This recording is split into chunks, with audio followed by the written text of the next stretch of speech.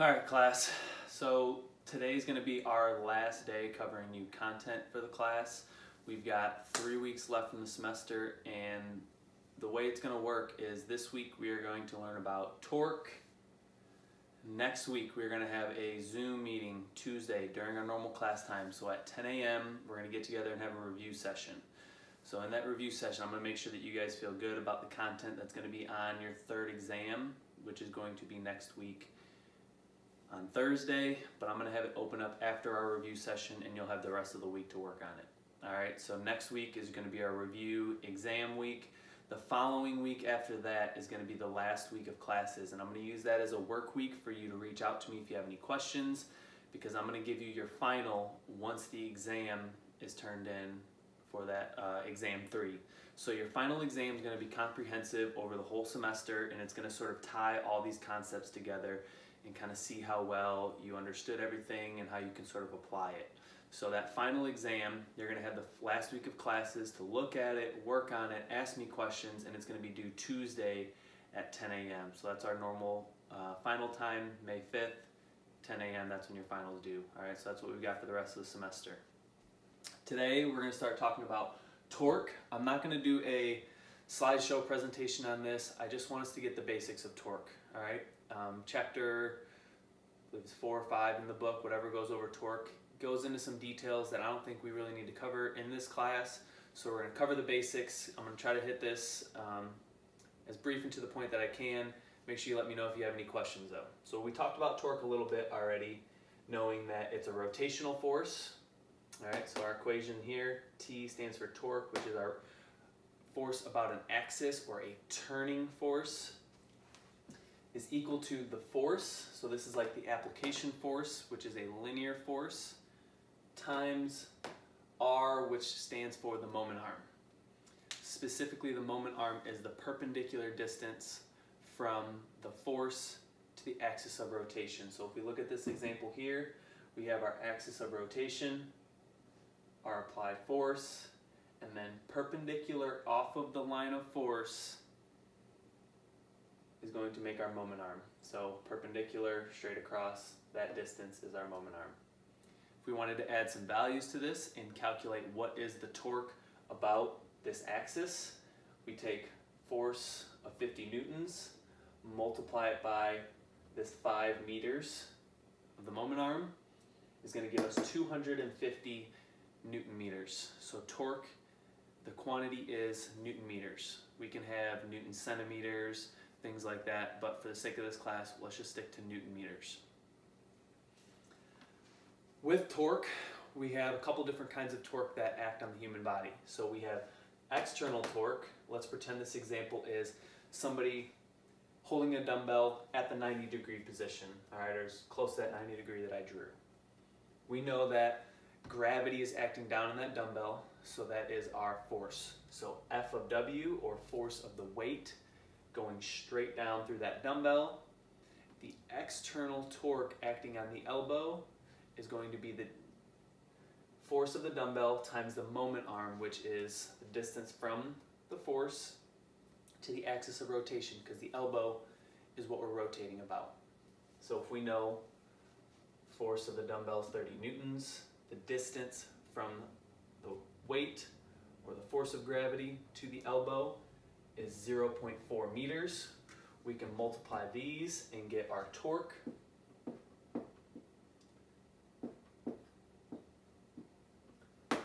of 12 newton meters. So that dumbbell is causing a rotational force about the elbow of 12 newton meters.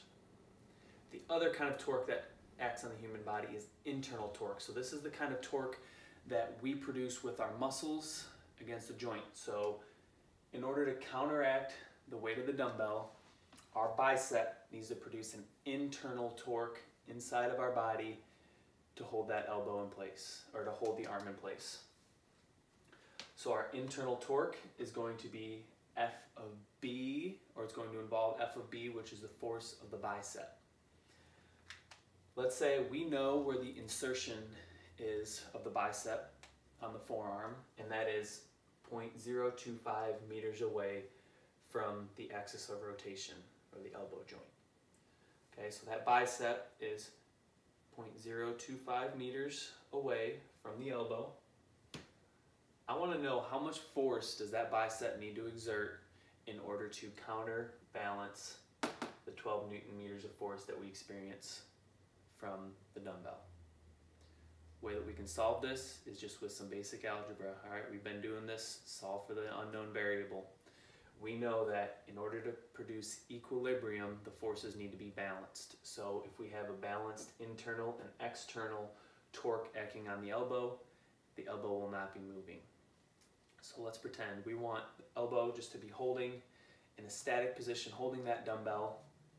The dumbbell produces 12 newton meters of torque. So we have, we want 12 newton meters of torque coming from the bicep in order to balance it. So we've got 12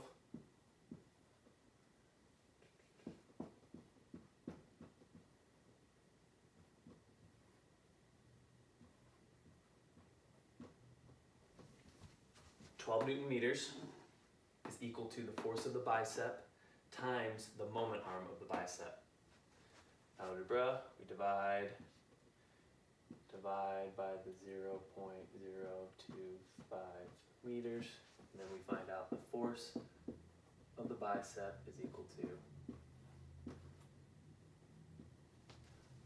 480 newton meters. All right, so these are the two different types of torque that our body experiences external force acting on us, and then the internal torque that we produce with our muscles against our bones. All right, so torque occurs in the body mostly around the joints. If we want to talk about the movement of our body as a gross system, we can start referring to our center of mass. All right, but for the most part, let's just keep talking about torques about a joint. Your homework for this week is going to be a torque activity. It's a little bit confusing, so I'm going to solve the first part for you so that way you kind of get an understanding for it and then the rest is going to be on you. So for the homework assignment, it is saying that somebody is laying down on a table, face down, with their arm hanging off the table. So this is the head, this is the elbow, upper arm, lower arm, and this is the dumbbell that they're holding on to the distance from the dumbbell to the elbow, 0.3 meters. The dumbbell is producing 50 newtons of force straight downward, right? That's gravity. And what the homework does is it places the elbow at some different angles. So maybe I can paint a picture for you here. So they're laying face down on a table and they're holding a dumbbell this way. And then we are changing the angle like so. So in B, okay, the question says that they move the elbow joint negative 30 degrees from the horizontal. So they're going from 180 degrees to taking it negative 30 degrees. So now we've got a bend in the elbow. So as you can see by this picture, he's bending his elbow a little bit more downward. We go down 30 degrees. We still have 50 newtons of force acting down with the dumbbell. Now what we don't know to calculate the torque about the elbow is the moment arm. This one here, we can calculate the moment arm because we know perpendicular distance from this weight to the elbow is 0.3 meters. When we change the angle we are going to change that distance because remember it is the perpendicular distance. So here to here, we change that angle. Now it is closer. We go to here, there is no distance because the force is acting straight through the axis.